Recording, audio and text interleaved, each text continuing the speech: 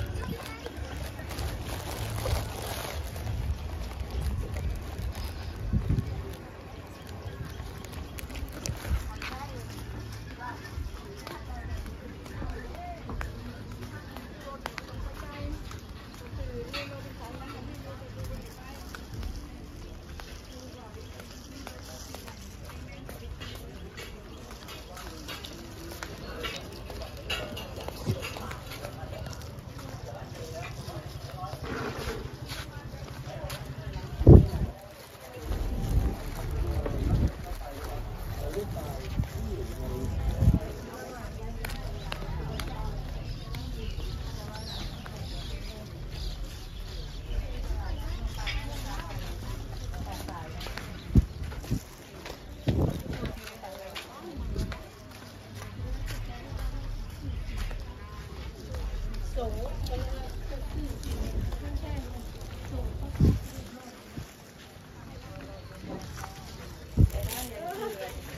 าไหมเอาไหม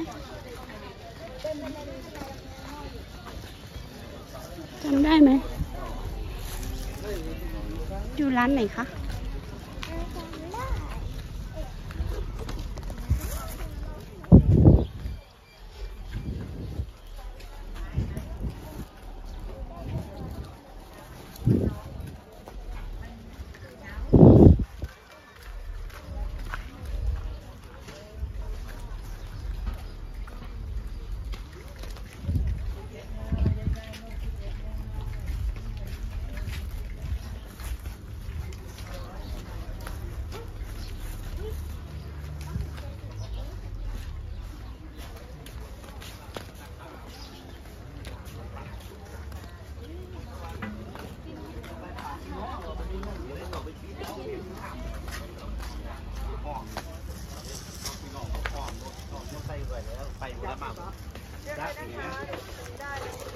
นี่คืออะไรคะดำเนินการตามกฎหมายเลยฮะมันเอาไว้ใส่เหรียญ